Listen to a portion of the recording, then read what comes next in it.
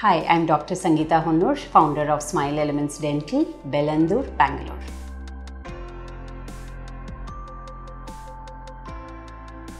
A lot of parents of our little ones uh, do ask us why do we need to treat baby teeth or milk teeth if they are going to fall off.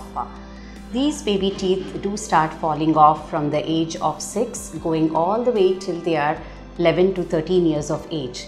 During this time, if the tooth is affected with uh, decay or a cavity, what we say, it does affect uh, the position of the tooth as it may cause early loss of the tooth. Firstly, it might cause an pain and abscess around the tooth, so the tooth falls off prematurely.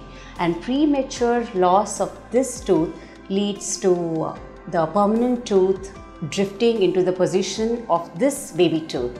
This in turn causes misalignment or malocclusion, what we say, uh, affecting the position of all the permanent teeth.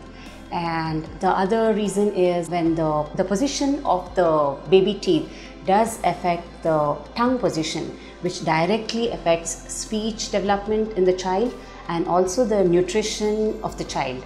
So this affects the smile and confidence of the child. So it's very, very important to treat the baby teeth or the milk teeth or what we call them as primary and deciduous teeth.